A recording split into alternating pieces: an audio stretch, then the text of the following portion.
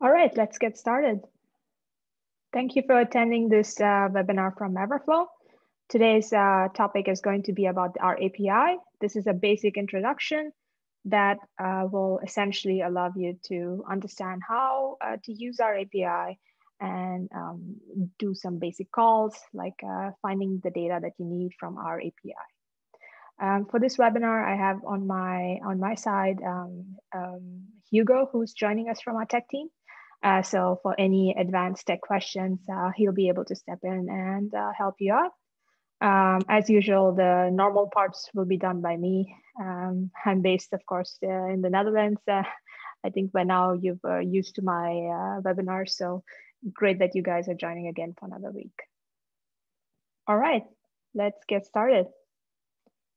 Um, the first part we want to talk about uh, really is to give you a basic introduction, um, talk a little bit about Postman, uh, some basic definitions that we have, and then how to run uh, a get call and how to run a post call uh, in Everflow. And then we'll talk about some advanced uh, questions that you have and frequently asked questions in our, um, in our chat system that we see for APIs.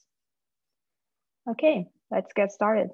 So introduction, right? Um, in general, the way our um, Everflow API is structured, it's uh, structured to be very open in the sense that um, our Everflow account or the Everflow account that you as a client or as an advertiser or as a partner are using, those accounts are also built essentially to use our Everflow API in the, in the background.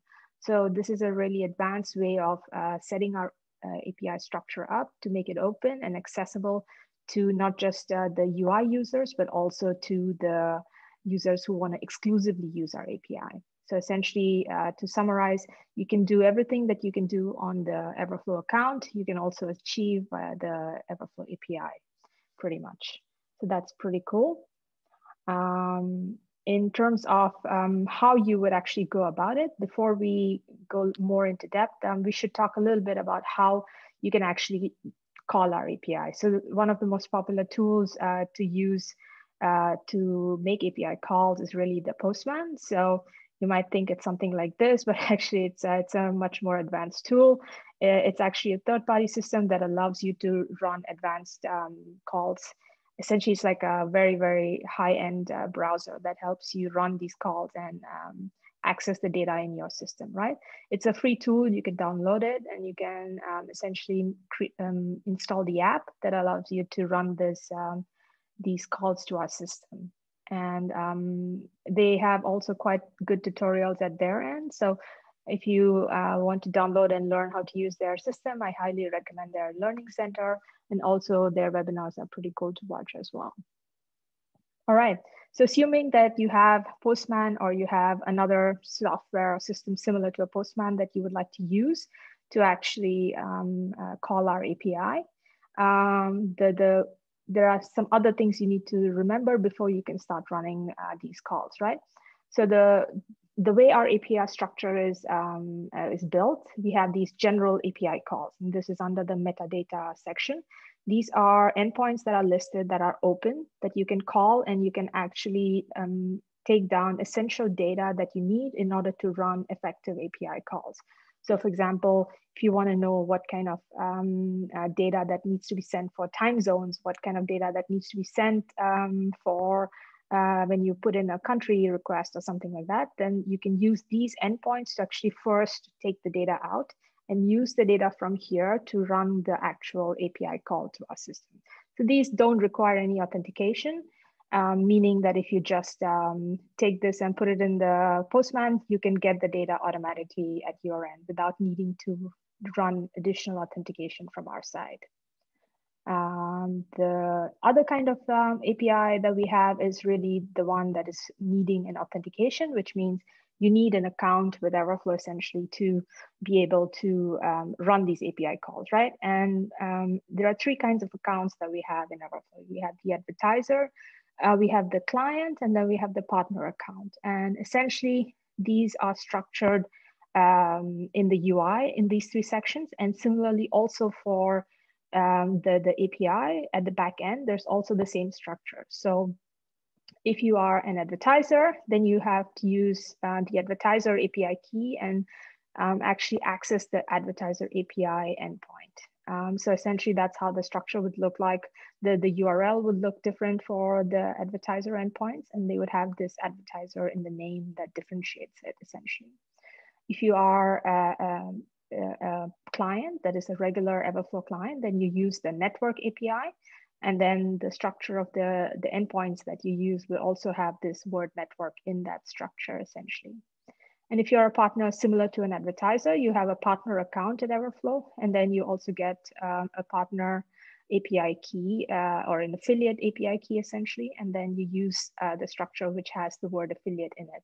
That's how you can easily differentiate which endpoint you're using. And based on what kind of um, account you have, what kind of access you have to Everflow, um, you are able to uh, run these calls uh, with the corresponding endpoints. Okay, um, also, if you guys have any questions during this webinar, feel free to drop them uh, in, the, in the question and answer section, and we'll get to them towards the end of the webinar, all right? Great. Moving on, uh, in terms of authentication, we, um, we also need uh, you to have an authenticated API key in order to actually access those endpoints, right? So before you can actually call those endpoints and run those calls, um, you need to first get this API key uh, created for you. So if you are an advertiser or an affiliate, in the sense that you have um, you're working with an Everflow client and you're looking to run API calls, then you need to reach out to your um, your account manager or your contact at the at the client company side who can generate an API key for you and send it to you. So essentially the way that you would generate an API key for an advertiser or for a partner is uh, simply to go to either the advertiser or to the partners, click on the manage section, click on the name of the advertiser or, or the partner, click on API and then create a key. And once you get the key created, you can send it to the person who was going to be running those API calls, and then they will use that key to access the API.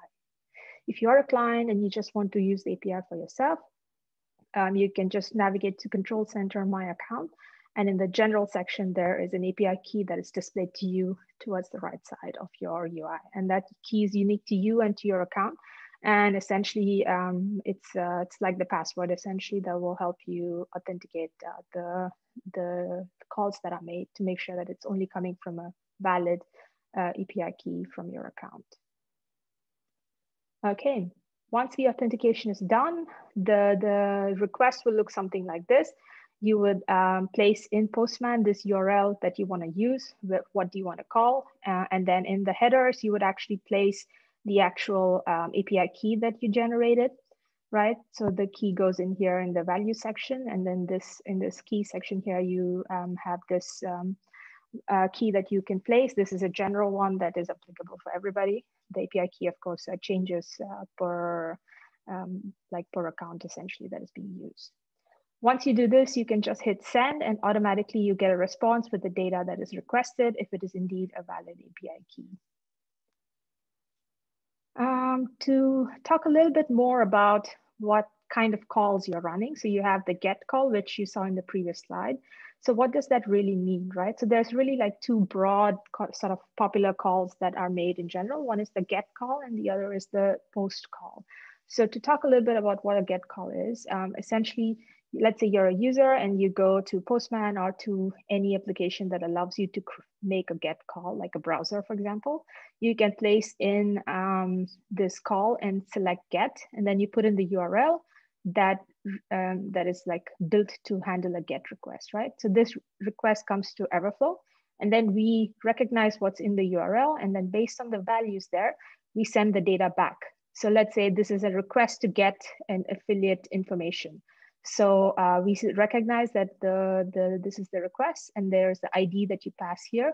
So based on the ID that is passed, we collect the information of that affiliate, we build the response and send it back to the requesting um, uh, terminal essentially.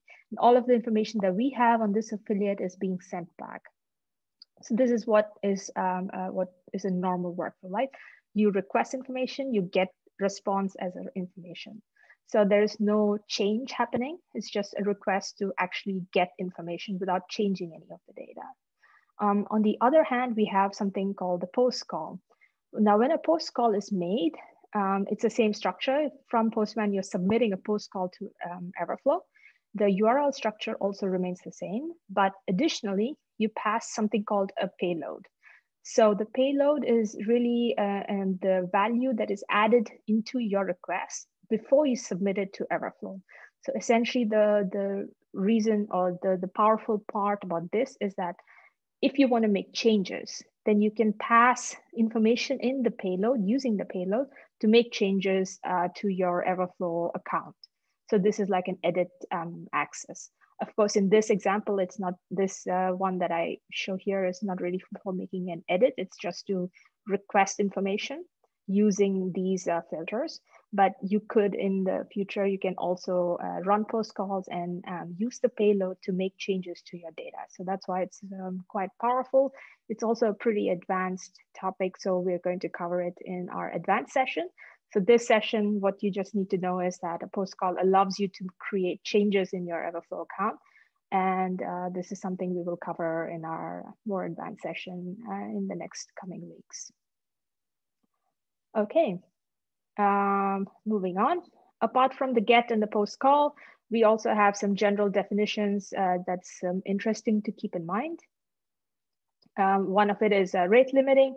This is uh, sometimes asked, and uh, just to explain how it works, generally it, it's what we say as how often you can call the API, right? Like how many calls you're making per second, how many calls you're making over a over a 30 second period, uh, like things like that. So generally this is pretty broad. As a beginner, you would not run into the, an issue where rate limiting would affect you.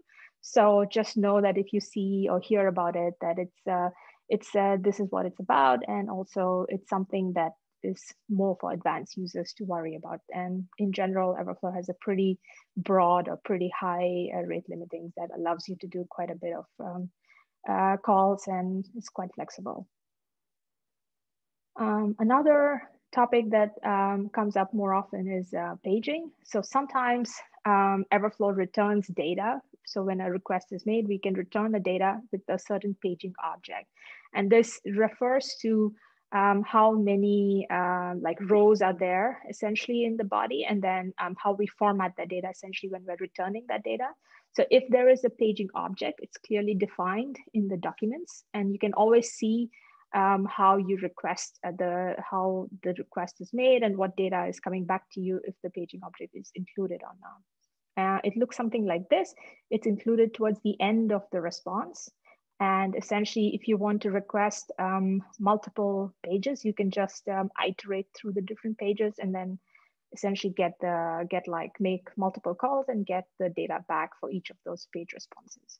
You can also increase the page size. So you can also say, okay, I want to request it with a higher page size, and then you'll be able to uh, sort of get more data in one request. Yeah, um, that's about paging. Another interesting thing to look at is um, relationships and filters. So relationships are essentially additional information that is possible to request on a returned response. So when we send the response back, the data can contain additional information. And if you request that additional information to us, we can send that data back to you. Um, and for example, uh, this is one where you're requesting affiliates information. Normally, when you run this call, you just get the data of the, of the affiliates back. But affiliates also have um, billing information stored in Everflow. So if you would like to have like specific billing information returned, you can add a relationship in the query string like this. And then essentially this billing relationship data will be passed back in the response for each affiliate that you're requesting info, info on.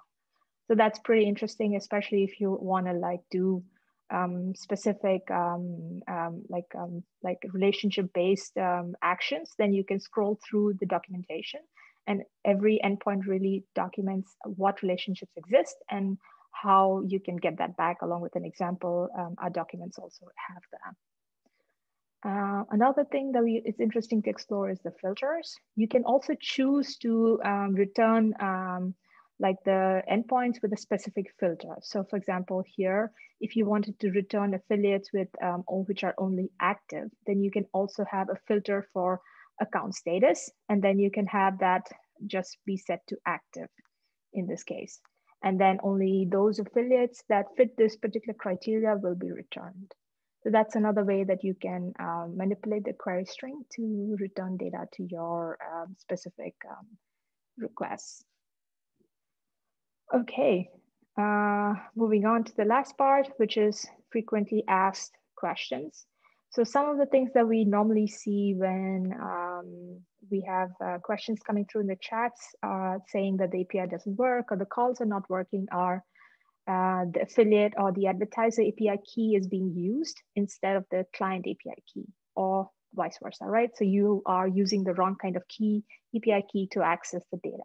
That's one of the most common mistakes that we see that comes through the chats. Um, the other one uh, that we see quite often is using the wrong endpoint as well. So you're use, you're trying to get the data, but you're trying to use an affiliate endpoint or a network endpoint to pull this data. So that's um, something to check as well to make sure that the endpoints that you're calling actually belong to the account hierarchy that uh, you should be calling in any case. Um, yeah, and then some other things that we see more often are, um, are you using an API key that is active? It could be someone has deactivated it by mistake, so it's always good to check the status of the API key. And also if you're going to use a post or a get to make sure that you're using the right method of, uh, of calls. And the last one, if you're using a post call, that normally the payload that you submit has some sort of error. And this can happen if you are um, formatting like the, the query string uh, uh, parameters, but also in the payload itself um, if you don't have the right, for example, time zone ID or the right currency pass and things like that, if there are formatting errors in those payloads, then also there will be an error on your um, API calls that you're making. All right, um, some common error codes are listed here. And you can always see in the response if uh, the actual, um, um, what is the actual error? Like in case there's a formatting issue, if it's not authorized, then there's a different error code. So you can always see based on the response code that you uh, get as well, what the exact issue could be.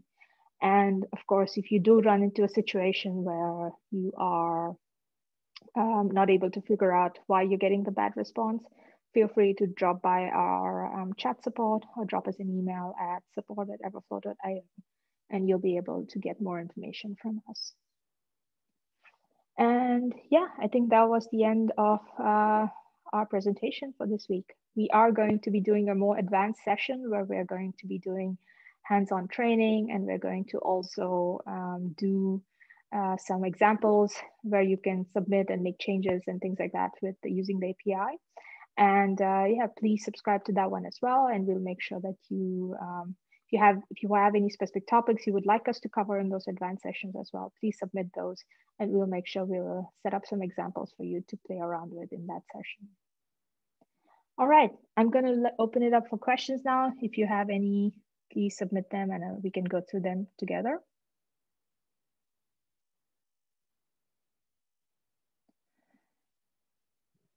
All right, looks like there are no questions. Well, that's always interesting. I'm, I'm guessing it means everyone is uh, super familiar with the API now. All right. Thanks a lot for attending this week's session. Um, we hope to see you again uh, in the next one. Have a good week. Take care.